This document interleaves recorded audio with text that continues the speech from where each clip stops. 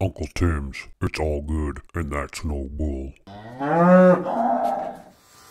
Ooh, it's frosty out this morning.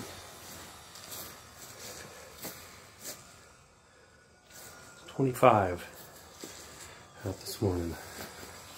Coming out to feed the goats. They're up there in the forest.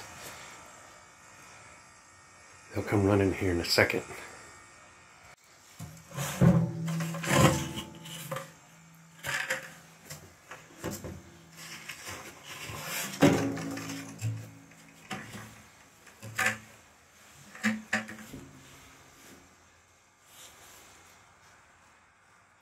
Here they come.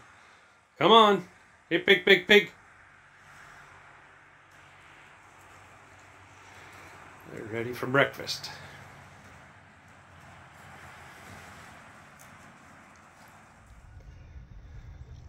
Some of you might wonder how pigs keep warm when it's cold outside if they're not in some sort of a shelter. They do that by building themselves nests. You can see well, I'm not sure how well it shows up on the video, but there's where one of the pigs spent the night and the ground is literally steaming because it's so warm compared to outside.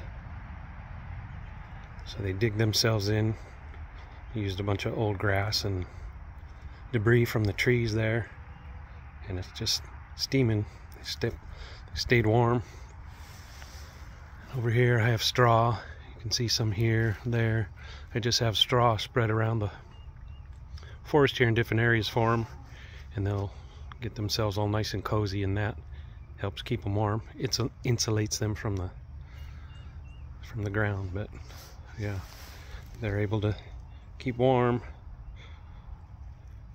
as long as they have proper amount of feed to feed their system, they can keep themselves warm.